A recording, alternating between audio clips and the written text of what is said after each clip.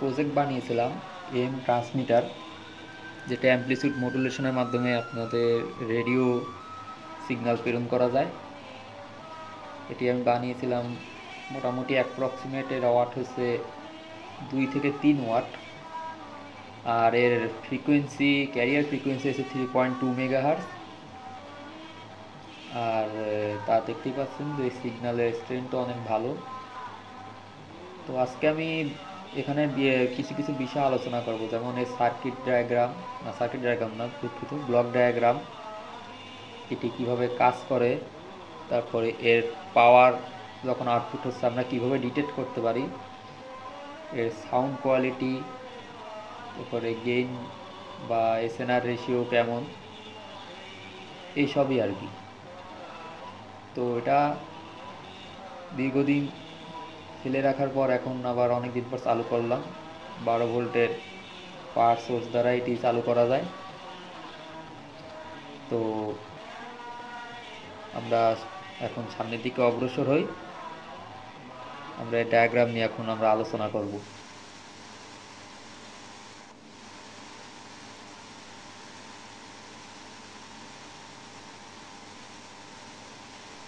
তো এখানে যে ডায়াগ্রামটা দেখতেছেন এটি ব্লক ডায়াগ্রাম আঁকাইছি, কারণ এর সার্কিট ডায়াগ্রামটা অনেক জটিল, আর জটিল ডায়াগ্রাম হয়তো সাধারণ মানুষ, মানুষদের বুঝতে অসুবিধা হবে, তাই আমি এটা ব্লক ডায়াগ্রাম আকারে দেখাচ্ছি।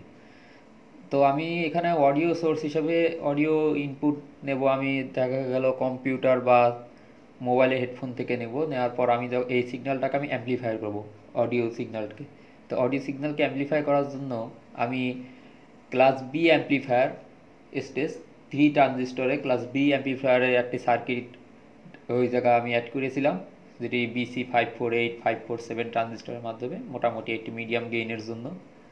আর অপর সাইডে আমাদের আছে থ্রি পয়েন্ট টু সেভেন মেগাহার্জের ক্রিস্টাল অসিলেটর সার্কিট এই ক্রিস্টাল অসিলেটর সার্কিটে যে ফ্রিকোয়েন্সি জেনারেট হয়, সেটির গেইন অনেক কম। তা এটাকে আমার অ্যাম্পলিচিউড করার জন্য বা অ্যাম্পলিফাই করার জন্য আমার এখানে two N two two one নাইনের দুটি ট্রানজিস্টরের মাধ্যমে বাফার অ্যাম্পলিফায়ার হিসেবে ব্যবহার করেছি। বাফার অ্যাম্পলিফায়ার দেওয়ার পর এটির গেইন মোটামুটি চারশো মিলিওয়াটের আশেপাশে পাওয়ার আসে আর কি পাওয়ার বিবর্ধিত হয়। এরপর আমার যে আশেপাশে যে সাইড ব্যান্ড আছে, এই সাইড ব্যান্ডগুলো আমার রিমুভ করার জন্য আমি একটি simple RC band pass filter circuit ব্যবহার করছি। ইন্ডাক্টর দিয়ে বানানো যায়, কিন্তু আমি এখানে RC RC band pass filter ব্যবহার করছি, কারণ ব্যান্ড পাস ফিল্টারের গঠন তো আপনারা জানেননি একটি হাই হাই পাস ফিল্টার একটি লো পাস ফিল্টারের মাধ্যমে ব্যান্ড পাস ফিল্টার গঠিত হয়। এবার আমরা আসি এখন আমাদের মডুলেশন স্টেজ তা মডুলেশন অ্যাম্পলিচিউড মডুলেশন বিভিন্নভাবেই করা যায়। ট্রানজিস্টারের মাধ্যমে মডুলেট করা যায় টিউবের মাধ্যমে মডুলেশন করা প্রক্রিয়া সম্পন্ন করা যায় আইসির মাধ্যমে মডুলেশন প্রক্রিয়া সম্পন্ন করা যায়। তারপরে ট্রান্সফরমারের মাধ্যমে মডুলেশন প্রক্রিয়া সম্পন্ন করা যায়। তো আমি এখানে যেটি ব্যবহার করেছি, সেটি হচ্ছে ট্রান্সফর্মার মডুলেশন তা ট্রান্সফর্মার মডুলেশনের মধ্যে আমি এখানে যে এটি তেরো তেরোশো ইস্টু আট ওহমের যে ইম্পিডেন্স বিষ্ট ট্রান্সফর্মার ব্যবহার করছি, এটি সাধারণত অডিও ট্রান্সফর্মার এটি একসময় রেডিও সার্কিটে ইউজ হতো, এখন এইগুলো আকার পাওয়া যায় না। তো ওখানে থেকে আমি মূলত যেখানে হাই সাইড হাই সাইডটা মূলত আছে আমার এই যে আরসি ব্যান্ড পাস ফিল্টার বরাবর, আর না সরি আপনার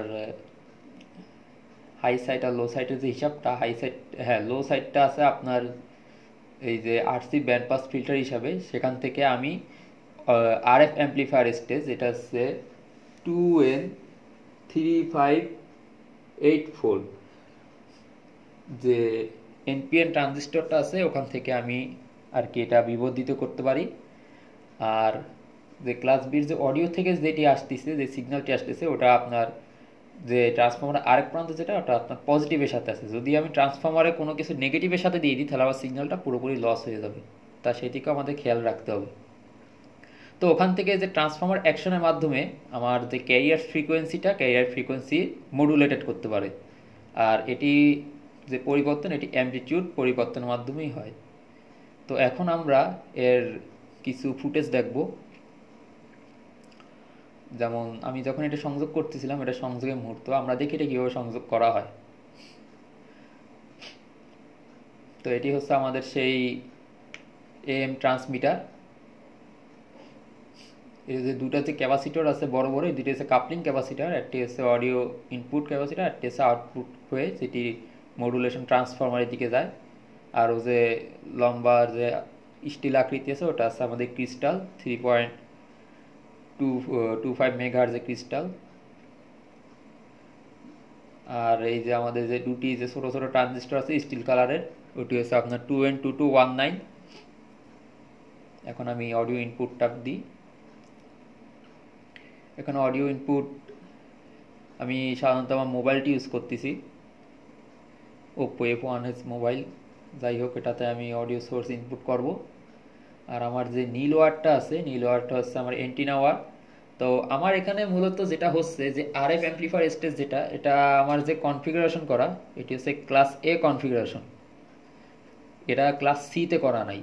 যদি আমি ক্লাস সিতে করতাম, তাহলে সার্কিট ডায়াগ্রামে হয়তো আমার দুটা ক্যাপাসিটর অ্যাড করা লাগতো, যেটা হচ্ছে আপনার ট্রিমার ক্যাপাসিটর যাতে যেন আমি রেজন্স ফ্রিকোয়েন্সিতে তখন আমি ট্রানজিস্টরকে বায়াস করতে পারতাম। কিন্তু আমি এখানে সাধারণত সিম্পল ট্রানজিস্টরটা একটা উচ্চ দক্ষতা সম্পন্ন ট্রানজিস্টর বলা যায়। এটা এখন আর পাওয়া যায় না, এটা মোটরওয়ালা কোম্পানির ট্রানজিস্টর তো ওটার মাধ্যমে আমি মূলত আমি আর ক্লাসিক কনফিগারেশন দিইনি।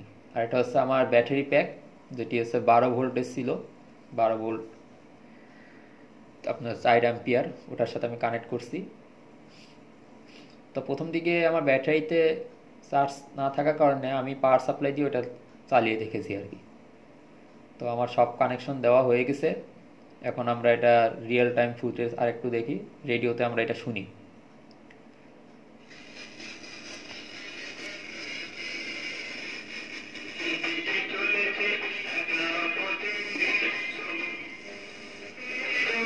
তো আমি আমার রেডিওতে আমি ফ্রিকুয়েন্সিটা টিউন করতেছি। যেহেতু এটা আমার short band one short band ওয়ানে আমি এটা টিউন করব।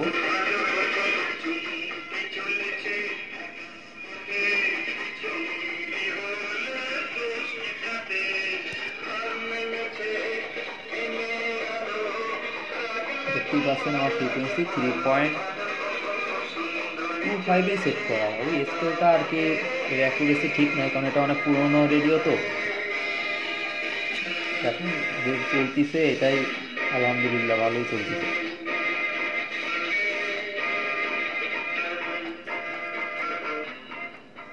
তো আমি যখন এটা পাওয়ার সাপ্লাইতে কানেক্ট করেছিলাম পাওয়ার সাপ্লাইয়ের আপনার কারেন্ট আর ভোল্টেজ রেটিং কত?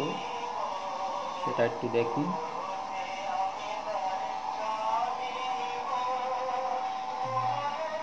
আচ্ছা পাওয়ার সাপ্লাই ভোল্টেজ আর কারেন্ট রেটিংটা আমরা একটু দেখি।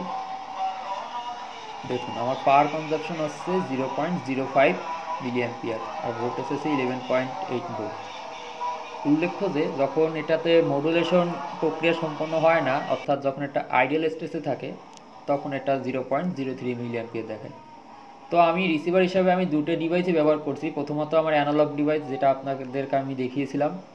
আর দ্বিতীয়ত হচ্ছে আমার hacker F one software defined radio এটার মাধ্যমে আমি সরাসরি রেডিও সিগন্যাল ক্যাপচার করেছি। এখন আমরা এটা রিয়েল টাইম পাওয়ার যে পাওয়ার ডিটেকশন বা পাওয়ারের যে ইটা মানে পাওয়ার অস্তিত্বটা কেমন, সেটা আমরা একটু দেখি।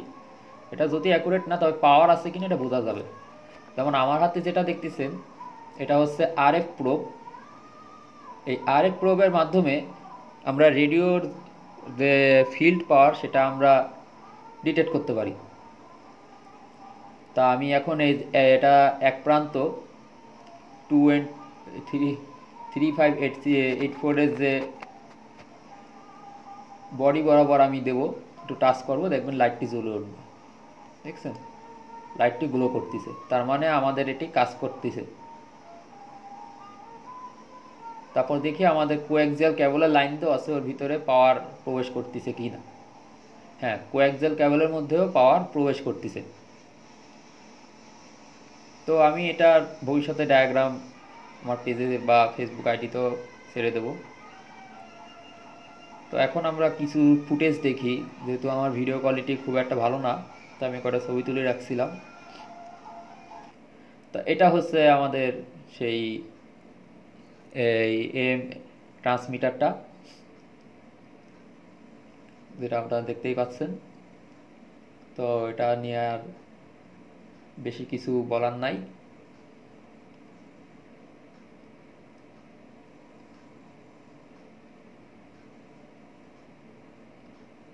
তো দেখি আমরা পাশের ছবিতে যাই।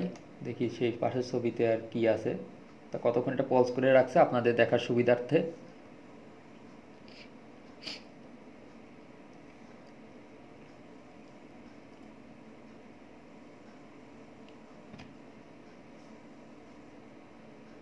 তো এটা হচ্ছে আমাদের এই হ্যাকার অ্যাপ ওয়ান হয়তো হ্যাকার অ্যাপ ওয়ান তখন ভালো করে দেখতে পারেননি। তো সেই কারণে হ্যাকার অ্যাপ ওয়ানটা আমরা একটু পজ করে দেখাচ্ছি। তাই হ্যাকার অ্যাপ ওয়ানের মাধ্যমে আপনারা এক থেকে এক মেগার্স থেকে ছয় গিগার্স পর্যন্ত ফ্রিকোয়েন্সি ক্যাপচার করতে পারেন। এটি মূলত রিসার্চের কাজেই ব্যবহার করা হয়। তবে এর আগে ইলিগেল কাজেও ব্যবহার হতো। তারপরে এটা বাংলাদেশেও ব্যবহার আইনগতভাবে নিষিদ্ধ কিনা আমি জানি না, কিন্তু এটা ইলিগাল কাজ করলে মূলত নিষিদ্ধ হওয়ার সম্ভাবনা থাকেই। তো এটার মাধ্যমে আমরা রেডিওর কাজগুলো করে থাকি।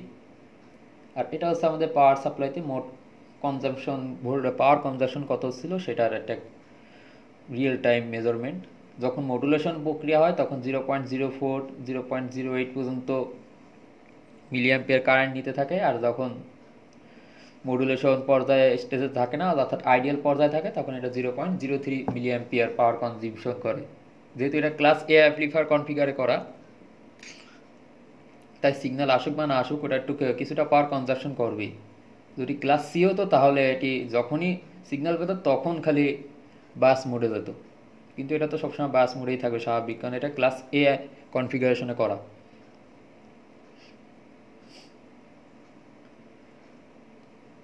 আর এটা হচ্ছে টোটাল যে ওয়ারিং ডায়াগ্রামটা আপনারা এটার মাধ্যমে বুঝতে পারবেন এটা কীভাবে আমি ওয়ারিং করছিলাম।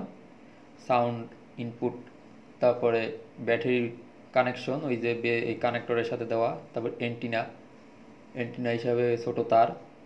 এটা যদি ইয়াগ এন্টিনা বা যে ডায়াপোল এন্টিনার মাধ্যমে দিলে এটা অনেক ভালোই রেঞ্জ পাবে। যেহেতু এটার ওয়াটও মোটামুটি ফাইভ ওয়াটের আশেপাশে। ফাইভ ওয়াট না হলে আমার এই এলইডিটা ঠিকমতো ব্লিঙ্ক করতো না। অনেক লো বিলিং করতো বা লো জ্বলতো আর কি। তো আমার আজকের ভিডিও এই পর্যন্তই। যেহেতু আমি জানি আমার কথার মধ্যে অনেক জড়তা আছে, তাই কোনো ভুল ত্রুটি হলে ক্ষমার দৃষ্টিতে দেখবেন। তো আজকে এই পর্যন্তই। সবাইকে ধন্যবাদ।